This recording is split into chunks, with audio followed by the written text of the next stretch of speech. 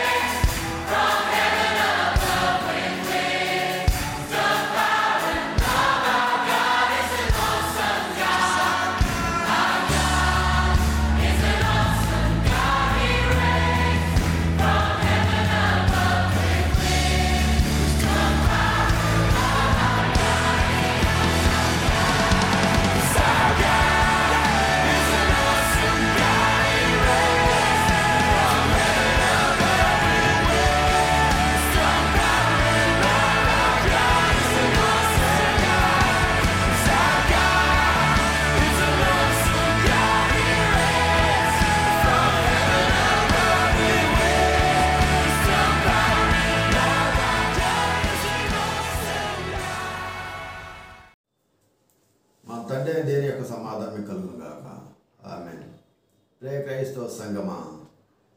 Easter శుభాకాంక్షలతో Easter సందేశమును ఈరోజు మనం వినబోతున్నాం.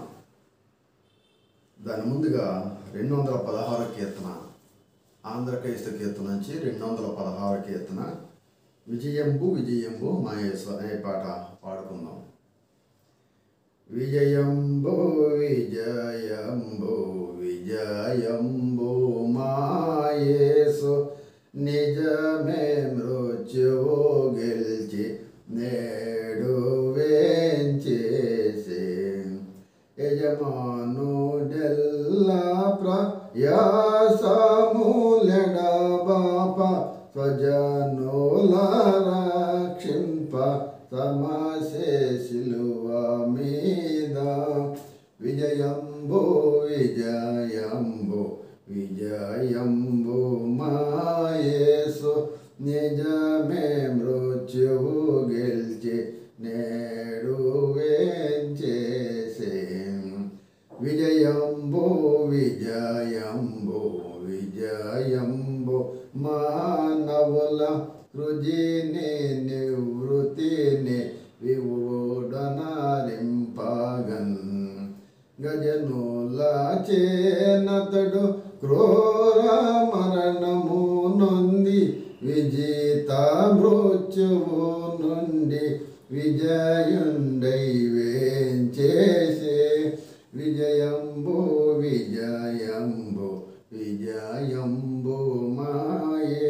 మాయేసు నిజమే మృత్యువు గెలిచి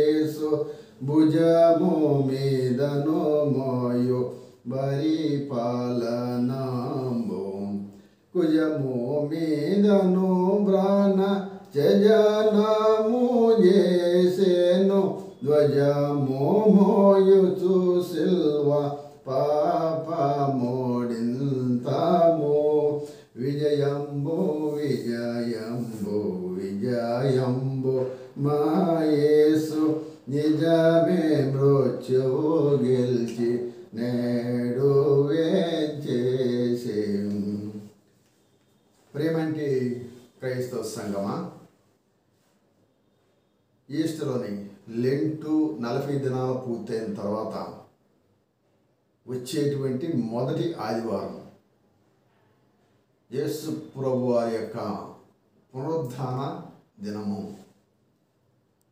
యేసు ప్రభు వారు సమాధించి లేపబడినటువంటి దినము. ఈస్టర్ పండుగ క్రైస్తవులకు ముఖ్యమైన పండుగ. వాక్య భాగం చూసినప్పుడు మా మార్క్స్ వార్త పదహారవ అధ్యాయం మొత్తం కూడా ఇలాగ వ్రాయబడి ఉంటుంది అన్ని విషయాలు ఇక్కడ మనం చదవటం లేదు కానీ ముఖ్యమైన భాగాలు మాత్రమే వాక్యమునందు చదువుకోవడం జరుగుతుంది. కనుక ఈ సందర్భంలో ఈస్టర్ పండుగ అనేది క్రైస్తవ జీవితంలో చాలా ప్రాముఖ్యమైన పండుగ.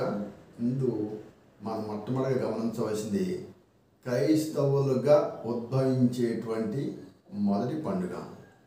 క్రైస్తవులు అనబడేవారు ఉద్భవించిన రోజు. రెండవది క్రైస్తవ సంగమునకు పునాదైన రోజు. క్రైస్తవ సంఘము ప్రారంభించిన రోజు ఈనాటి నుంచి యాభై రోజుల తర్వాత వచ్చేటువంటి పెంతుకోస్తు రోజు. కానీ క్రైస్తవులకు పునాది వేసిన రోజు. ప్రపంచవ్యాప్తంగా క్రైస్తవ సంఘముల ఆరాధన క్రమం మారిన రోజు ఆదివారం క్రైస్తవుల సంఘ ఆరాధనకు ఉపక్రమించిన రోజు. క్రమంతా మార్చబడిన రోజు అనేది ఈరోజు మనం జ్ఞాపకం చేసుకోవాలి. ప్రార్థించుకుందాం. పరిశుద్ధమైన ప్రియమైన పదవు తండ్రి మీ దీవెన ఆశీర్వాదం సమాధానం మాకు అందించి మీకు మహిమ కలుగుంటానికై ఈస్టర్ పండుగ దినాన్ని మాకు అందించి మా యొక్క జీవితాల్లో గొప్ప వెలుగును గొప్ప తలంపును గొప్ప ఉద్దేశం మాకు అందించి మీరు మహింపరుస్తున్న రీతిగా మీకు ఆలోచించుకుంటాం మీ బిడ్డలకు ఆత్మ జ్ఞానము మనోరత్నం తెరిచి మీకే మహిమోత్సవం కృప చూపించమని యేసుక్రీస్తున్నాము వీటిని ప్రార్థిస్తున్నాం తండ్రి. ఆమె మార్క్స్ వార్త పదహార అధ్యాయంలో మొదటి వచనంలో విశ్రాంతి దినము గడిచిపోగానే మగ్ధలేని మరియు యాకోబు తలేని మరియు సలోమే వచ్చి ఆయనకు పూయవలని సుగంధ ద్రవ్యము కొనిరి. రెండవ వచనంగా వారు ఆదివారం పెందరకడ లేచి బయలుదేరి సూర్యోదయమైనప్పుడు సమాధి వద్దకు వచ్చుచుండగా సమాధి ద్వారం నుండి మన కొరకు ఈ రాయి ఎవడో పొల్లించునని ఒకరితో ఒకరు చెప్పుకొంచుండ్రి వారు వచ్చి కళ్ళెత్తి చూడగా రాయి పొల్లింపబడి ఉంటే చూసిరి ఆ రాయి ఎంతో పెద్దది. అప్పుడు వారు సమాధిలో ప్రవేశించి తెల్లని నిలువుటంగి ధరించుకుని ఒక పరుసువాడు కుడివైపున కూర్చుండేట చూసి మిగుల కలవల పడి అందుకు అతడు కలవరపడపడి ఇవ్వబడిన నజరేయుడకు యేసుని మీరు ఎదుగుతున్నారు ఆయన లేచి ఉన్నాడు. ఇక్కడ లేడు. వారు ఆయన ఉంచిన స్థలం చూడండి. మీరు వెళ్ళి ఆయన మీకంటే ముందుగా గైలులోనికి వెళుతున్నాడని ఆయన మీతో చెప్పినాడు. అక్కడ మీరు ఆయన చూతురని ఆయన శిష్యులతోనూ పేతులతోనూ చెప్పుడు ఆయన ఈ వాక్యంలో చాలా స్పష్టమైనటువంటి పునరుద్ధాన జీవితం గురించి అందించిన సంద సమాచారం మనకుంది. శుక్రవారం శిలువ మీద మరణించినటువంటి యేసుక్రీస్తు వారు శిలువపై నుంచి శవముగా కిందికి దించి అరిమత యేసుకు నికోదేములు ఇద్దరు కలిసి శవమునుగా ఉన్నటువంటి మృతదేహాన్ని శిలువపరించి క్రింది దించి అరిమత యేసు కోసం ప్రత్యేకించబడినటువంటి ఆ సమాధిలో అంటే ఒక రాయి తొలచబడింది. ఒకే రాయి తొలసబడినటువంటి రాయి ఆ రాయిలో సమాధిగా తన కోసం ఏర్పాటు చేసుకున్న దాంట్లో యేసు ప్రభా నుంచి దాని గడ్డుగా దాదాపు రెండు టన్నులు ఉన్నటువంటి ఒక బరువు గల రాయి అడ్డుగా నెట్టడం జరిగింది. ఈ సందర్భంలో యూదుల సాంప్రదాయం ప్రకారం ఒక మృతదేహానికి సంబంధించినటువంటి మర్యాదలో అక్కడ స్త్రీలు కానీ ఆయన శిష్యులు కానీ ఎవరో చేయనటువంటి సందర్భం. కారణం సమయం అప్పటికే ఆరు గంటలు అయిపోతుంది. యూదుల సాంప్రదాయం ప్రకారం సబ్బాధ్యం ప్రారంభమవుతుంది విశ్రాంతి ప్రారంభమవుతుంది.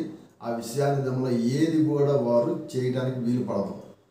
అందువల్ల హడావుడిగా ఆ సమాధి కార్యక్రమం ముగించాల్సి వచ్చింది. కానీ సాంప్రదాయం ప్రకారం చేయవలసిన మర్యాదలు చేయలేదు కనుక అక్కడ ఉన్నటువంటి శిష్యులు కానీ స్త్రీలు కానీ వంశీకులు కానీ వారందరూ విశ్రాంతి దినం మర్చి అయిపోయిన తర్వాత వెంటనే వచ్చి ఆయనకు సుగంధ ద్రవ్యంతో మర్యాద చేయాలి. ఆ మృతదేహానికి కావాల్సిన సకల మర్యాదలు మర్యాదలు అంటే ఖరీదైనట సుగంధ ద్రవ్యములు అత్తర సెంటు లాంటివి.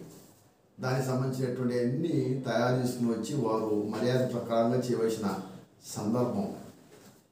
ఆ రోజు మిస్ అయిన దాన్ని విశ్రాంతి దినం తెల్లవారుజామున లేచి ఆ రోజు ఆదివారం విశ్రాంతి దినము అయిన తెల్లవారి దినము ఆదివారం రోజున వారు వచ్చి యేసుప్రభు వారి మృతదేహానికి సకల మర్యాదలు చేయటానికి అందరికంటే ముందుగా వేకువజామనే తెల్లవారుజాము ఐదు ఆరు ప్రాంతంలోనే స్త్రీలందరూ కూడి ఆ సమాధి రావడం దగ్గరకు రావటాన్ని మనం గమనిస్తాం. అయితే వారు వస్తున్నప్పుడు ఒక ఆందోళన కలిగి ఉంది. ఓ పెద్ద బండరాయి ఆ బండరాయిని ఎలా తొలగించాలి అనేది వాళ్ళు సందేహపడుతున్నారు.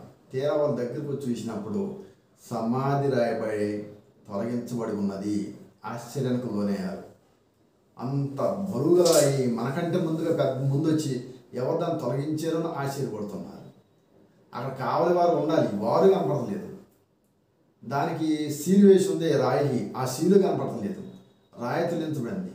ఆందోళన లోపల పరిగెత్తారు లోపలికి వెళ్ళినప్పుడు అక్కడ యేసు ప్రభు వారి యొక్క మృతదేహం లేదు కానీ దాని స్థానంలో ఆయన విడిచి వెళ్ళినటువంటి బట్టలు ఉన్నాయి. ఆయన స్థానంలో దానికి బదులుగా ఆ సమాధిని ఆనుకుని పరిశుద్ధమైన దేవదూతలు అక్కడ కూర్చుని ఓ సందేశం ఇస్తున్నారు. ఇది స్వయంగా చూసినటువంటి స్త్రీలు చూసినటువంటి అక్కడ దృశ్యం. వారికి అక్కడ మృతదేహం కనపడలేదు. అనగా యేసు ప్రభు వారు కనపడలేదు. ఇక్కడ వారు చెబుతున్నటువంటి ఆ దేవదూతలు చెబుతున్నటువంటి సమాచారము ఆయన లేచి ఉన్నాడు. మార్క్స్ వార్త పదహారు అధ్యయం ఆరు వచనంలో ఆయన లేచి ఉన్నాడు ఇక్కడ లేడు. ఆయన ముందుగానే చెప్పినట్టుగా మన మిగతా సువార్తలు మనం చూసుకున్నప్పుడు ఆ సువార్త కూడా ఇదే భాగం వ్రాయబడింది. ఆయన ముందుగా మీకు చెప్పినట్టుగా ఆయన ఇక్కడ లేచి ఉన్నాడు. ఆయన ప్రపంచ చరిత్రలో ఎంతోమంది నాయకులు ఎంతోమంది దైవజనులు ఎంతోమంది దేవతలు దేవతలు దేవుడికి చెప్పుకున్నవారు వారందరికి సంబంధించిన సమాధులు ఈనాటికి ఖరీదైన రాయతు పలకలతో ఇప్పటికీ ఉన్నాయి. ప్రపంచంలో పేరుగాంచినటువంటి మేధావులు సైతము రాజుల సైతము నాయకుల సైతము ఈనాటికి కూడా వారి సమాధులు రాతి పలకలతో చెక్కబడి చాలా సుందరంగా అందంగా అలంకరించబడినాయి. ఎంతోమంది మేధావులు దేవుళ్ళని చెప్పుకున్న వారు కూడా ఈ రోజుగా అలాగూ సమాధులు ఉన్నాయి. బౌద్ధ మతంలో స్థాపకుడైనటువంటి గౌతమ్ బుద్ధ కూడా ఆయన సమాధి ఖైదైన రాళ్ళు కాల సమాధి కనపడతాయి అట్లా ముఖ్యమైనటువంటి వారందరూ కూడా సమాధులు నేటికి ఉన్నాయి. ఒకే ప్రపంచ చరిత్రలో భూగోళ చరిత్రలో ఒకే ఒక వ్యక్తికి సమాధి కాదు కదా? ఆయన చనిపోయినట్టు దాఖలాలు ఉన్న దాని తర్వాత ఆయన బ్రతికి ఉన్నట్టుగా ఉన్నటువంటి సమాచారం కానీ ఆయన కుళ్ళిపోయినటువంటి శరీరంతో ఎముకలతో అక్కడ భూస్థాపన చేసినటువంటి స్థలంలో ఈనాటికి కూడా ఎవరు కనుగొలేకపోయారు కారణం ఆయన లేచి ఉన్నాడు. ఒక చోట ఉన్న మృతదేహం ఎక్కడికి వెళతాం? అక్కడే కుళ్ళిపోవాలి లేదా ఎముకలు కనపడాలి. చాలామంది ఎముకలు ఇప్పుడు కూడా కనపడతాయి. కానీ యేసు ప్రభు వారి విషయంలో మాత్రం అవి లేవు. అక్కడ ఆయనకు బదులుగా దేవదూతలు కనబడుతున్నారు. వారు అంటారు ఆయన లేచి ఉన్నాడు. ఆయన లేడు ఇక్కడ. మీరు ఇక్కడ వెతకాల్సిన అవసరం లేదు. మిగతా వాక్య భాగాల్లో మిగతా సువార్తలు మనం చదువుకున్నప్పుడు లోక సువార్త యవన సువార్త మత సువార్త మనం చూసుకు చూసుకున్నప్పుడు అందరూ కూడా చాలా స్పష్టంగా మనకి ఏం చెబుతుంటే ఆయనకు లేచి ఉన్నాడు. అంటే పునరుద్ధానుడై ఉన్నాడు. పునరుద్ధానము. తిరిగి జన్మించుట తిరిగి లేపబడుట. పునరుద్ధానము. మనిషి లేపబడుట తన జీవితాన్ని కోల్పోయిన జీవితాన్ని మళ్ళా తెచ్చుకునుట. జీ యేసుప్రభు జీవించున్న రోజుల్లో నా ప్రాణం నేనే ఇచ్చుకుంటాను నేనే తీస్తాను. ప్రజల కొరకు నా ప్రాణం నేనే ఇస్తున్నాను తిరిగి నా ప్రాణం నేనే రప్పించుకుంటాను. కానీ ఈ కార్యము దైవ కార్యము మనుషులు ఊహించలేనిది మనుషులకు అర్థం కానిది. కనుక దేవుడు సంకల్పం ఆ రీతిగా ఉన్నప్పటికీ లోక సంబంధం ఉన్నటువంటి స్త్రీలు కానివ్వండి శిష్యులు కానీ మొట్టమొదటిగా అది వినలేకపోయారు నమ్మలేకపోయారు. ఒక్క చనిపోయినటువంటి వ్యక్తి తిరిగి లేపబడటమా? ఇది సాధ్యమా? లోక చరిత్రలో ఇది గొప్ప సాధ్యం అంటే బైబిల్ చరిత్రలో దాదాపుగా ప్రవక్తలు కానీ యేసు ప్రభు వారు కానీ తన శిష్యులు కానీ పునరుద్ధానము చనిపోయిన తర్వాత లేపబడినటువంటి సంఘటనలు పదకొండు ఉన్నాయి. పాత నిబంధనలో ఏరియా ఎలీషా వారు చనిపోయిన వ్యక్తులు లేపారు. యేసుప్రభ లేచారు. సాయంగా యేసుప్రభ లేచారు. అట్లా శిష్యులు కూడా చనిపోయిన వారు లేపారు. పునరుద్ధాన చరిత్రలో దాదాపు మన బైబిల్లో పదకొండు ఉన్నాయి. యేసుప్రభు వారు మనకి ఇచ్చేటువంటి ఒక నిరీక్షణ శరీర పునరుద్ధానము. అది అద్భుతాలు జరగడం ద్వారా జరిగినటువంటిది. ఇది అట్లా కాదు. ఇది ఇది ఒక పరిశుద్ధుడిగా పుట్టినటువంటి వ్యక్తి తన మరణాన్ని తానే పొంది తన మరణాన్ని ద్వారా లోకానికి ఒక సందేశం ఇచ్చి తిరిగి తన జీవంతాన్ని తెచ్చుకుని లోకానికి ఒక భరోసా ఇస్తూ మీరు కూడా శరీర పునరుద్ధరణలు అవుతారు అని ఒక విశ్వాసాన్ని బలంగా చాటినటువంటి విషయం. అందుకని క్రైస్తవ విశ్వాసంలో బలమైంది శరీర పునరుద్ధానము అపోసల విశ్వాస ప్రమాణంలో మనం చెప్పుకుంటాం. శరీర పునరుద్ధానం ఉంది చనిపోయిన వారు లేపబడతారు. క్రైస్తవ విశ్వాసం ప్రధానమైంది. అందుకని మనం మధ్య మృతులైన వారికి మనం ఎప్పుడు కూడా ప్రభునందు మృతులేని నిద్రించుతున్నారు అని అంటాం. కారణం వారు తిరిగి రాబోయే కాలంలో యేసు ప్రభు వారు మళ్ళీ వచ్చే కాలంలో మనందరం లేపబడతాం. మనందరం ఒకరిని చూసుకుంటాం. తిరిగి న్యాయస్థానం ముందు న్యాయాధిపతి ముందు నిలబడతాం. కనుక మనం లేపబడతాము అన్న క్రైస్తవ విశ్వాసము బలమైన పునాది ఇక్కడ పడిందన్న విషయం ఈరోజు మనం జ్ఞాపకం చేసుకోవాలి. వాక్యం ముందు చాలా సందర్భంగా ఆయన లేచి ఉన్నాడు. ఈ లేచి ఉన్న పదం మొట్టమొదటి లోకాన్ని ప్రచారం చేసింది దేవుని యొక్క దేవదూతలు. యేసు ప్రభు వారు భూలోకానికి వస్తున్నారు అని చెప్పింది మొట్టమొదటిగా దేవదూతలు. యేసు ప్రభు వారు లోక రక్షకుని లోకాన్ని చాటింది మొట్టమొదటిగా దేవదూతలు. తిరిగి ఆయన లేకపడ్డాడు పునరుద్ధరణ అయ్యాడు. అని లోకాలు సాటింది కూడా మొట్టమొదటిగా దేవదూతలు. ఈ విషయాన్ని మనం జ్ఞాపకం చేసుకోవాలి. కనుక దేవుని యొక్క సందేశం మన ప్రజలకు సమయానుకూలంగా ఏ సందర్భంలో ఏ సందర్భంలో దైవికమైన కార్యం జరిగినప్పుడు దానికి ఆశ్చర్యపడటం అనేది మనుషులు వంతైనప్పుడు దేవుడు దాన్ని క్లారిటీ ఇచ్చుకుంటూ ఇది సాధ్యమే అని చెప్పుకుంటూ వచ్చినటువంటి సందర్భం. శరీర పునరుద్ధానం. యేసు ప్రభువారు నిర్జీవుడై సజీవుడిగా మనకు కనబడుతున్నటువంటి సందర్భం. తర్వాత కాలంలో మనం మా మిగతా సువార్త మనం చదువుకున్నప్పుడు యేసు ప్రభువారు మొట్టమొదటిగా కనబడేటువంటి సజీవుడిగా మొదటిగా కనపడింది మగ్ధలేని మరియా. ఇక్కడ మనం చెప్పుకున్నప్పుడు మగ్ధలేని మరియు యాకోబు మరియు సలోమి వచ్చి వారందరూ ఆయన శరీరాన్ని పోసిన బయటికి ముందు లోపలికి వెళ్ళి లోపల లేకపోయేసరికి భయపడిపోయి బయటకు వచ్చారు. బయటకు వచ్చిపోయి వీళ్ళు వెళ్ళి ఇది నిజమా లేదా వాళ్ళకి అర్థం కాక ఒకవేళ అక్కడ ఉన్నటువంటి రోమ ప్రభుత్వ అధికారులు కానీ మతాధికారులు కానీ శవాన్ని మాయం చేసి కథలు చెప్పడానికి ప్రయత్నం చేస్తున్నారా? ఏదో గందరగోళం జరిగింది రాజకీయ కుట్రకోణం జరిగిందన్న భయంతో వీళ్ళు పరిగెత్తుకెళ్ళి శిష్యులు చెప్పడానికి ఆ మిగతా వారు వెళ్ళారు. కానీ మగ్ధలేని మరియా మనకు చూసినట్లయితే ఆమె ఆ చుట్టుపక్కల ప్రాంతంలోనే ఎదుగుతున్నప్పుడు తొలిసారిగా యేసు ప్రభు ఆయన కనపడ్డాడు. ఎందుకు ఎదుగుతున్నాము? ఆమె అంటుంది తోటమాలి అనుకుని ఆయన ఆయన చూసి కూడా గుర్తుపట్టక తోటమనుకుని మా ప్రభుని నేను తీసుకెళ్ళామో చూడు నువ్వు చూస్తున్నావు కదా ఆయన ఉంటే నాకు చూపించు నేను ఆయన తీసుకుని వెళ్ళాలి లేకపోతే ఆయనతో మేము సకల మర్యాద చేయాలి అనుకున్నప్పుడు ఆయన అన్నట్టు మాటలో మరియా అని పిలిచినప్పుడు ఆమె రబ్బుని అని ఆయన- మా కాళ్ళు పట్టుకునే ప్రయత్నం చేసినప్పుడు ఆయన మరియా నన్ను అంటకు నేను దేవుని వద్దకు వెళ్ళవలసి ఉంది అని ముట్టుకోవడానికి కూడా అవకాశం లేకుండా పరిశుద్ధత అనేది దేవుడు మహిమ స్వరూపి అనేటువంటి విషయాన్ని ప్రభు దేవునిగా అక్కడ కనపడుతున్నారు కనుక మరియా సజీవుడైనటువంటి యేసు క్రీస్తుని తొలిసారిగా భూమి మీద చూసినటువంటి ఏకైక స్త్రీ ఆమె మొదటి క్రైస్తవురాలు కూడా ఆమె అనే విషయం ఈరోజు మనం జ్ఞాపకం చేసుకోవాలి. కనుక క్రీస్తు ప్రభువారు లేపబడిన తర్వాత యేసుని యేసుగానే చూసింది చనిపోవటం చూసింది. యేసు తిరిగి లేపబడుతూ చూసింది. ఏసు లేపబడిన తర్వాత ఆమెతో మాట్లాడటం కూడా తొలిసారిగా మాట్లాడింది. కనుక మా చరిత్రలో గొప్ప గనురాలై అన్ని స్వాతల గురించి రాయబడింది కనుక మరియా యేసు ప్రభు నీ రబ్బుని అని సంబోధించినప్పుడు యేసు ప్రభు మరియాని ఆమె పిలిచినప్పుడు ఇక్కడ క్రైస్తవ సంఘం ప్రారంభమైంది. క్రైస్తవులు ఉద్భవించారు అనేది ఈరోజు మనం జ్ఞాపకం చేసుకోవాలి. ఆదివారం రోజున ఎందుకు మనం ప్రయాణం ఈ ప్రార్థనలో గలుగుతాం ఎందుకు ఆదివారం పూట ప్రార్థన జరుగుతాం అనడానికి దానికి ప్రథమమైనటువంటి పునాది స్థాపన ఈరోజు ఆయన లేపబడ్డాడు. ఆ లేపబడింది దేవుని యొక్క శక్తి వలన. దేవుడే ఆయన లేపాడని పౌలు గారు చెప్పిన సందర్భం.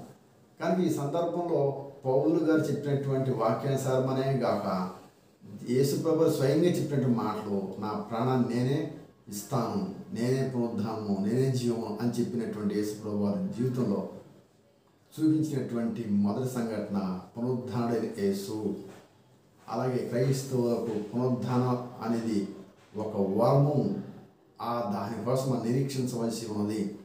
మన జీవిత ప్రయాసను మనం ఎంత త్వరగా ముగించుకుని అంత దగ్గరికి వెళ్ళాలని ప్రయాస పడతాం కానీ దేవుడిచ్చిన కాలంలో దేవుడిచ్చిన సమయంలో మనం దేవుని కొరకు పనిచేసి ఆయన పిలుపు మేరకు మనం పునరుద్ధాన విజయం పొందే సందర్భం మనకు ఉంది కనుక ఈ రోజున అటువంటి జీవితాన్ని పొందుకోవాల్సిన అవసరం మనకుంది. ఈ యొక్క వాక్య భాగంలో చాలా స్పష్టంగా మీరు వెళ్ళి ఆయన మీకంటే ముందుగా గైలోనికి వెళ్ళుచున్నాడని ఆయన మీతో చెప్పినట్టు అక్కడ మీరు ఆయన చూతులని ఆయన శిష్యులతోనూ పేతుతోనూ చెప్పుడా నేను మీరు అంటారా ఆయన ఇక్కడ లేరు? మీ మీరు చూస్తారు. మీకంటే ముందుగా ఆయన గలిలే ప్రాంతానికి వెళ్తూ ఉంటారు. ఆ ప్రాంతంలో శిష్యులందరూ ఆయన చూస్తారు. యేసుప్రభు వారు మరణం పొందిన తర్వాత తిరిగి లేచిన తర్వాత భూమి మీద సజీవుడిగా నలభై దినాల పాటు భూమి మీద ఉన్న విషయం మొట్టమొదటి మనం జ్ఞాపకం చేసుకోవాలి. నలభై దినాల్లో ఆయన పన్నెండు సార్లు ప్రత్యక్షంగా అందరికి కనబడి అందరి ముందుకి చూపిస్తూ నేనే యేసును తిరిగి లేచాను. దానికి సాక్ష్యాలు కూడా నిరూపించాడు. తోమ అంటారు ఆయన శిష్యుడైన తోమ నేను యేసు ప్రభువాన్ని స్వయంగా చూస్తే ఆయనకు నిజంగా గాయాలైన చోట ఏలు పెట్టి చూసినప్పుడు ఆయనే నిజంగా లేచాడని నేను నమ్ముకుంటా నమ్ముతా. లేకపోతే ఎవరో చెప్పిన మాటలు నేను వినను అన్నప్పుడు స్వయంగా యేసు ప్రభు వారి దగ్గరికి వచ్చి తోమ సందేహం ఎందుకు? ఎందుకు అలా సందేహపడుతున్నావు? చూడు నా గాయాల్లో వేలు పెట్టి చూడమన్నప్పుడు ఏలు పెట్టి చూసి స్పర్శించి నిజమే ఈయనే యేసు అని చెప్పి క్షమాపణ కోరుకుంటాడు. అట్లాగూ ఆయన పన్నెండు సార్లు అందరికి దర్శనాలు కాదు ఓపెన్గా కనబడి అందరికీ తన గురించినటువంటి ప్రవచనాలు పాత నిబంధనలో ఉన్నటువంటి ప్రవచన వచనాలన్నీ ఎన్నైతే ఉన్నాయో అవన్నిటిని ఒక్కొక్కటి వివరంగా వాళ్ళు చెప్పుకుంటూ వచ్చి ఇవన్నీ నా గురించి వ్రాయబడ్డ విషయాలు ఎలాగ అమలు జరిగిందో ఎందుకోసం అమలు జరిగిందో ఎందుకోసం మనిషికి మనం రావాల్సి వచ్చిందో ఈ కార్యమని ఎవరు చేశారో ఎలా చేశారో ఇవన్నీ వివరంగా చెప్పించినప్పుడు అందరూ ఆశ్చర్యపడతారు. ఈ నలభై దినాలు మనం ఇంకోరోజు మనం గమనించవలసింది ఏమంటే ఇది ఒక శిష్యులకు ట్రైనింగ్ అని కూడా మనం చెప్పుకోవాలి. నలభై దినాల ట్రైనింగ్ ఇచ్చారు ఆయన. నలభై దినాల ట్రైనింగ్ ఇచ్చిన తర్వాత యాభై రోజున పెంతు కోస్తు దిన రోజున పరిశుద్ధాత్మ రూపం ఆయనకు వచ్చి వారు ఆత్మీయ బలోపేతం చేసినప్పుడు వారు సంఘ స్థాపనకు సంఘంలో బోధించడం బయలుదేరారు. ఆ పెంతుకోస దినాన పరిశుద్ధాత్మ శక్తితో పేతురు ఆవేశంగా మాట్లాడిన మాటలకి ఒకేసారి మూడు వందల మంది బా మూడు వేల మంది బాప్తిజం పొందారంటే ఎంత శక్తివంతమైనటువంటి ఈ శిక్షణ ఈ నలభై దినాల పేదలు పొందాడో ఎన్ని ఎవిడెన్స్ ఆయన స్వయంగా చూశారో ఎన్ని ఆధారాలను పరిశీలన చేశారో ఎన్ని అవమానాలకు గురైన అన్ని అవమానంలో యేసు ప్రభు తన్ని ఎలా రక్షించాడు ఇవన్నీ పేతులు తన శిష్యులు మొత్తం ప్రత్యక్షంగా చూసినటువంటి అనుభవం. చివరిగా ఒకేసారి ఐదు వందల మందికి ఒకేసారి యేసు ప్రభు కనబడి వాళ్ళందరి సమక్షంలో ఆకాశ మేఘానుడై పరలోకానికి వెళ్ళినటువంటి ఈ ప్రత్యక్ష అనుభవం కూడా అందరూ చూసిందే. కనుక ప్రభువారు మానవుల జీవిత రక్షణార్థమై లోకానికి తన కార్యం ముగించుకుని పరలోకానికి వెళ్ళి మీరు కూడా పరిశుద్ధత కలిగి నా వద్దకు రావాలి. అలా పరిశుద్ధ చేయటానికి తండ్రి అయిన దేవుని యొక్క సంకల్పం భూమి నెరవేర్చబడింది. సకల జనుల విధంగా మారాలి. ఆ విధంగా రావడానికి అలా నమ్మి విశ్వసించిన వారిని తోడుకుని వెళ్ళడానికి మళ్ళా నేను వస్తాను. వచ్చి మిమ్మల్ని అందరూ తోడుకుని వెళ్తాను. అప్పుడు మీరు సజీవులు అవుతారు. మృతులైన వారు మొదలు లేతురు. సజీవులైన వారు తర్వాత లేతురు. కనుక మృతులైన వారు లేస్తారు. కనుక చనిపోయిన వారు ప్రతి ఒక్క ఆ రోజున లేస్తారు. అలాగే సజీవులు ఉన్నవారు సజీవులుగానే వెళ్ళిపోతారు. కనుక ఇంకా నమ్మక అవిశ్వాసం ఉండి దేవుని నమ్మక విశ్వాసం కోల్పోయిన వారు శిక్ష పొందుతారు. వారికి చెప్పడానికి మరొక దేవదూతలు వస్తారు. కనుక ప్రభు వారు చేసేటువంటి కార్యము కేవలం మనుషుల కొరకు అనేది ఈరోజు మనం జ్ఞాపకం చేసుకోవాలి. ఇందులో ఈస్టర్ పండుగ శుభ సందేశంలో అనేక మంది అనేక రకములుగా ప్రసంగంలో ఉన్నప్పటికీ ప్రధానంగా మనం గుర్తుంచుకోవాల్సింది ఈ రోజున క్రైస్తవ క్రైస్తవులు ప్రారంభించబడిన రోజు అంటే క్రైస్తవులకు పుట్టినరోజు. అంతకుముందంతా యోధా సాంప్రదాయం ప్రకారంగా ధర్మశాస్త్ర సాంప్రదాయం ప్రకారంగా యూదు సాంప్రదాయం కింద నడపబడింది దాని ప్రకారం అందరూ ఆచరించారు. కానీ ఈనాటి నుంచి క్రైస్తవులు అనబడే వారు ఉద్భవించి తర్వాత క్రైస్తవులు చాలామంది ప్రపంచానికి నాంది పలికేరు అనేది ఈరోజు మనం జ్ఞాపకం చేసుకోవాలి. అందుకని అపోసల కార్యంలో మొదటగా అంత్యకలో వీరు క్రైస్తవులు అనబడ్డారు అనే పేరు మనం చూస్తాం. కనుక ఇక్కడ నుంచి క్రైస్తవులుగా ఉద్భవించిన రోజు క్రైస్తవులుగా తమ జీవితాన్ని మార్చుకున్న రోజు చాలా సంఘాల్లో ఈ రోజున కొత్తగా బాప్తిజం పొంది కొత్తగా ప- ప్రభురాజ్య సంస్కార పాలనలో పాల్గొని దేవుని యొక్క రాజ్యంలో ప్రవేశించడానికి ప్రతి ప్రతి సంఘంలో ఈ రోజున ఒక పెద్ద పండుగగా చేసుకునేటువంటి సందర్భం. క్రైస్తవులుగా ఈరోజు పుట్టమే కాకుండా క్రైస్తవ జీవితాన్ని ప్రారంభించడానికి నాంది పలికిన రోజు. ఈరోజు పరిశుద్ధమైన దేవుని యొక్క భౌతిక మందిరములో ఆరాధన ప్రారంభించే రోజు ఇక్కడ నుంచి ప్రతి ఒక్కరూ ఆదివారం రోజున ప్రారంభం ప్రార్థన చేయడానికి ప్రారంభమైన రోజు. యేసు ప్రభు వారి యొక్క పునరుద్ధరణ జీవితం మన జీవితంలో అన్ని మార్పులు తెచ్చింది. కనుక ఈ తొలి క్రైస్తవురాలుగా మగ్గులేని మరియ కనపడ్డారు. మనీ క్రైస్తవులుగా ఇప్పటికీ మనం ఉన్నాం. కానీ ఇంకానే ఎంతోమంది క్రైస్తవులై దేవుని ఎందుకు విశ్వాసం కలిగి ఉండి వారందరూ సంపూర్ణ విధేయత కలిగి దేవుని యొక్క రాకడలో మనందరూ సిద్ధపడగలిగి మనం పరిశుద్ధి కలిగి నీతి మంత్రం కలిగి ఆయన రాజ్యంలో స్థానం సంపాదించుకున్న రోజున నిజమైన క్రైస్తవం అనేది లోకానికి తెలుస్తుంది. అంతవరకు మన ప్రయాస కొనసాగుతూనే ఉండాలి. ఆయన వచ్చే పర్యంతము మన ప్రయాస కొనసాగుతూ ఉండాలి. ఇది ఈస్టర్ యొక్క ముఖ్య విశేషాలు. ఈ ఈస్టర్ శుభాకాంక్షలు మీకు మరొకసారి తెలియజేసుకుంటూ మన ప్రభు అయిన యేసుక్రీస్తు వారు ఎలాగున ఈ కార్యం ముగించి మాకు సందేశం ఇచ్చారో ఆ సందేశం లోకాన్ని చాటించవలసిన ఆవశ్యకత మనకు ఉంది మన తండ్రి అయిన దేవుని యొక్క సమాధానము మన ప్రభు అయిన యేసుక్రీస్తు గారి యొక్క రక్షణ మన ప్రభు అయిన పరిశుద్ధాత్మ దేవుని యొక్క సహవాసము ఇప్పుడు ఎల్లప్పుడూ మీకును మీ కుటుంబాలకు మీ తలంపులకు తోడు నేరుగా ఉండి నడిపించటకు సహాయం దయచేయను గాక ఆమె